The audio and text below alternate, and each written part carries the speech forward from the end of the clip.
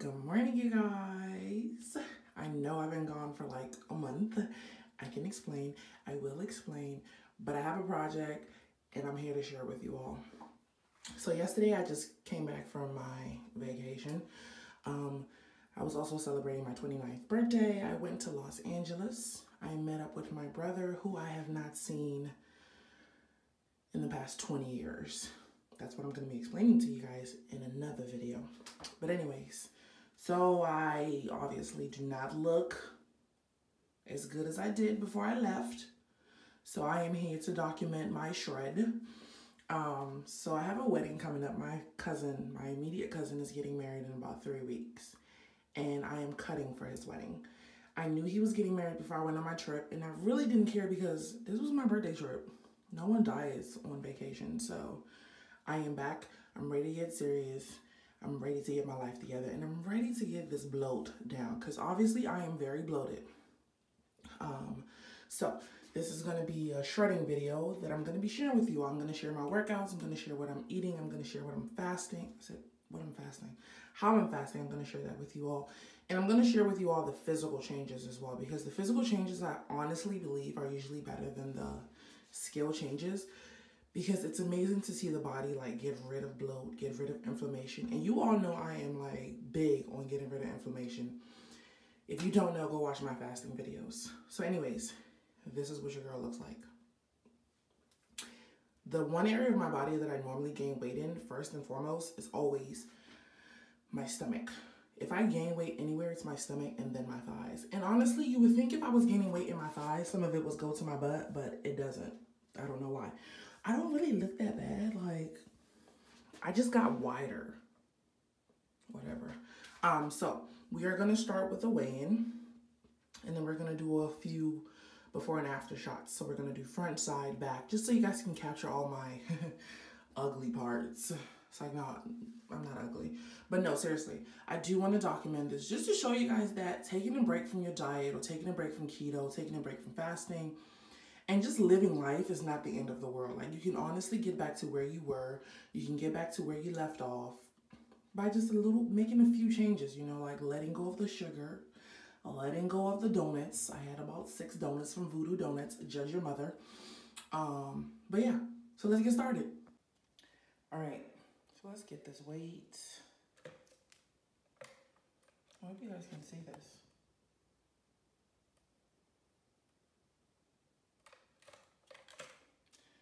So that says 252.6. I was 238 before I got ready and left for my trip. Can you see my head, shoulders, knees, and toes? No? Okay, whatever. Um, so these are the before shots. Let me roll down my swimsuits. Ugh, so um, so yeah, this is what we are looking like. There's no sucking in going on. Um, one, two, three. Here it is, folks. Here it is. My love handles definitely came back full force. Like these suckers, just, um, but that's fine. The same way they came is the same way they're gonna go. All right, so this is the front view. This is the side. no sucking in, no sucking in. Here we are. Put my tag in because I can feel it. Here we are. My back actually still looks good, so we are okay in the back department. Um, it's just the lower back department that is just not cooperating, but it was not cooperating before my trip, so I think we're okay. Um, another side view.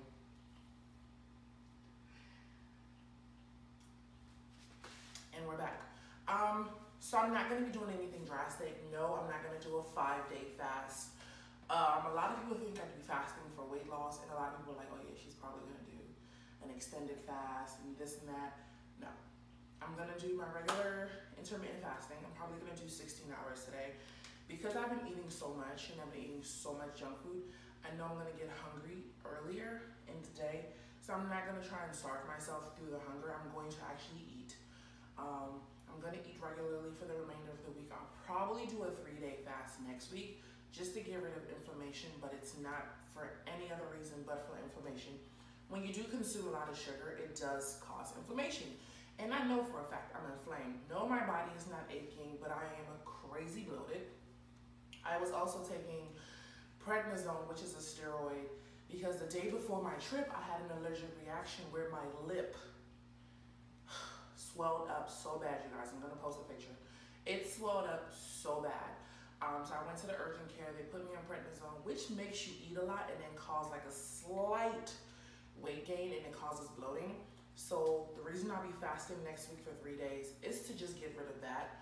But other than that, I'm to be chilling this week. I'm to do my 16, 18 hour fast. I'm to keep it low carb. I'm to keep it no sugar. I'm to drink my coffee. I'm to do a gallon of water. Um, yeah, but I'm not doing anything drastic. So I'm to take you guys along what I'll be doing this week to slowly get back into the swing of things, how to get back into ketosis. Because as of right now, sweetheart, I know for a fact I'm not in ketosis. If I was to check my ketones, it would say lost. It doesn't say low, it would say lost. Because like, where are you? You are not in ketoville. Um, but yeah, I'm gonna do that and you guys are gonna come along for this ride, okay? All right, so I'm gonna get dressed for work and then we're gonna go upstairs and make some coffee because I'm gonna need some coffee. Coming from the west coast to the east coast, I honestly think I'm gonna be jet lagged around like 12 o'clock. Mind you, I work 10 to 8, so I cannot get tired. I cannot get sleepy because we don't get adult naps at work, okay? We have to push through. So, yeah, we're gonna make some coffee. Okay? Bye. So, I just finished traps. Cardio now. I'm gonna do some interval trainings. I'm gonna do a five minute walk, five minute jog, and then five rounds of sprints. I'm gonna spend 30 seconds. And then I'm gonna repeat three more times.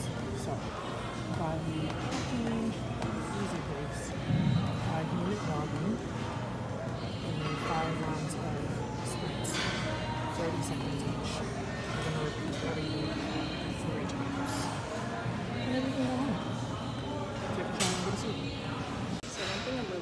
show is that um, taking a break, falling off, or whatever we want to call it, it, is really normal. With the camera shaking, it's because I'm walking. But it's really normal, and we have to get out of the idea that you have to be working out year round every day. Skipping the day is bad, and all that other mythical shit. Um, it's okay to take breaks. It's okay to take a break. It's okay to go on vacation, go off diet, eat what you want, and just live, you know? Sometimes I wake up and I'm just like, I don't feel like gym, and I don't go because forcing myself is not the reason I started working out in the first place. Um, I don't like forcing myself. I'm not gonna force myself to work out. It's just not my thing. A lot of people are like, oh, drag yourself, make yourself go. No. Sometimes when you don't feel like working out, that's your body telling you to just take a break. And honestly, it's best to listen to your body. Um, so my advice is, if you feel like you just need some time off, take the time off. And honestly, you may come back stronger. You may come back faster. You may come back more um, motivated, more enthusiastic to even to hit your goals, to even change your goals for something better. You know. Um, and sometimes taking a break is what we really need to ignite that flame to keep us going stronger. And me, my breaks always make me come back stronger. A lot of people think when you take a break, you get weaker, um, strength-wise. But in my case, I normally don't get weaker. I usually get stronger. I don't know what it is, but my body likes breaks. So I take breaks. Um, I am four minutes into my walk, so I'm gonna start jogging soon. And again, it's just an easy walk. Nothing crazy. If you want to challenge yourself, put it in an incline. And that's your challenge. But that's about it. Okay. Peace. Finish my first round. For the second round, I decided to increase my incline. And I'm walking a 2.5 at a 3.5 incline. I'm gonna walk for five minutes, jog for five, and then do my five sprints, and then repeat it one more time.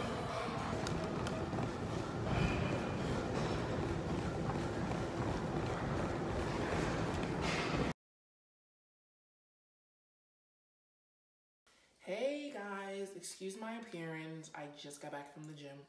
Um, had a great workout. I wanted to update you all on a few things. So because I work in a hospital setting, I cannot record while I am at work. So I was not able to record the lunch I had in the hospital cafeteria. Um, but I wanted to tell you guys what it is that I'm doing as far as my meals. So eating wise, I'm gonna be doing OMAD, um, AKA one meal a day. I'm gonna be eating one giant meal a day moving forward for this wedding shred. Um, so today I had a big bowl of, I had a big salad. And I always like to start my meals with a big salad because one, it's filling. Two, it's a great way to break your fast because you are just pumping your body with all these vitamins and antioxidants and all this great stuff. After I had my salad, I had about 11, I see 10 to 12 Old Bay season wings. I didn't dip it in anything. I just ate it plain as it was. And then I had a packet of Planters peanuts after that. It's like the two ounce pack. I love them. It's like a dessert for me. It just, it just makes my day better. Um, and it helps with like satisfying any cravings that I may have or any like idle eating thoughts that I may have. It's like, it's like my dessert. Um, I get it from the vending machine at work. It's a dollar and 50 cents. Um, sometimes it gets a bit expensive when it's not payday, but I had a packet of that today. And that was all I had. I had a gallon of water. I worked out. Honestly, I can say today was successful. Day one back in the gym, day one back on keto, and I feel great. I don't feel like I'm forcing myself to do anything. I fasted for 16 hours with no problems. Um, I had a cup of coffee around 11 o'clock. And other than that, today was great. And my next weigh-in will be on Sunday. So today we started off at 252 pounds. The goal is to be under 250 by Sunday. So I will update you all come Sunday. Thank you for watching. Don't forget to subscribe.